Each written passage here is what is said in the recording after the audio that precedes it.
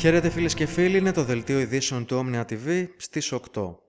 Ξεκινάμε με τις αυριανές κινητοποίησεις. Χειρόφρενο τραβούν οι εργαζόμενοι σε μέσα μαζικής μεταφοράς, προχωρώντας σε 24 ώρια απεργία. Ακινητοποιημένα μένουν μετρό, ΙΣΑΠ, λεωφορεία, τρόλεϊ, τραμ και προαστιακός, με τους εργαζόμενους να διαμαρτύρονται για το μέτρο της εργασιακής εφεδρείας.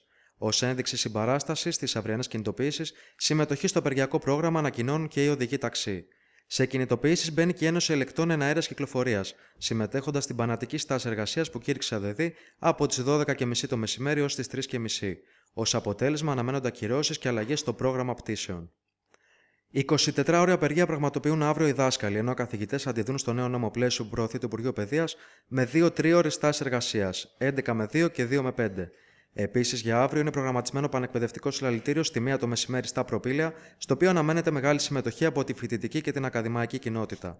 Στάση εργασίας πραγματοποιούν αύριο και εργαζόμενοι στην τοπική αυτοδιοίκηση από τις 11.30 ως τη λήξη της βάρδιας, προγραμματίζοντας ταυτόχρονα συγκέντρωσης στι 12.30 στην πλατεία Καραϊσκάκη και αργότερα πορεία προς το Υπουργείο Εσωτερικών επί της οδού Σταδίου. Ακόμη, σε 48 ώρια απεργία αύριο και μεθαύριο, προχωρούν εργαζόμενοι στα κέντρα πρόληψης, ΟΚΑΝΑ και τοπικής αυτοδιοίκησης και καλούν σε μαζική προσέλευση του Υπουργείου Οικονομικών την Παρασκευή στις 10 το πρωί, συμμετέχοντας στο συντονισμό των εργαζομένων στις δομές υγείας και πρόνοιας. Διεκδικούν η δραματική περιστολή των δημοσίων δαπανών που επιτάσσει η Τρόικα να μην περιλαμβάνει τη διάλυση των δομών φροντίδας των ευπαθών κοινωνικών ομάδων.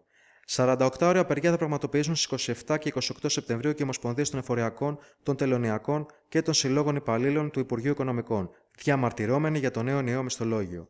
Τέλος, οριστικοποιήθηκαν σήμερα οι ημερομηνίες των πανελλαδικών απεργιών που θα πραγματοποιήσουν από κοινού ΓΕΣΕ και ΑΔΕΔΗ με την πρώτη να ορίζεται στις 5 Οκτωβρίου και τη δεύτερη στις 19 του ίδιου μήνα.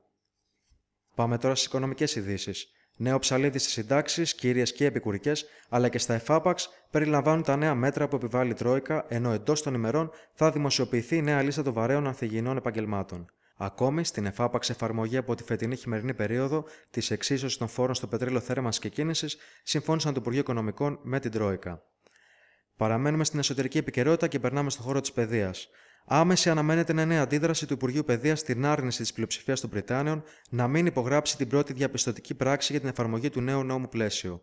Σε σημερινές δηλώσεις του, ο ειδικός γραμματέας ανώτατης εκπαίδευσης Βασίλης Παπάζογλου σημείωσε πως σε περίπτωση άρνησης υπογραφής της διαπιστωτικής πράξης από πλευράς Πριτάνεων, η πράξη θα υπογραφεί από την ίδια την Υπουργό. Σημείωσε ακόμη πως σε όποιες περιπτώσεις μέχρι τις 15 Ιανουαρίου 2012 δεν έχουν συγκροτηθεί τα συμβούλια των Ιδρυμάτων για τα αντίστοιχα Ιδρύματα, δεν θα υπάρχει εγκεκριμένος προπολογισμό του έτους 2012.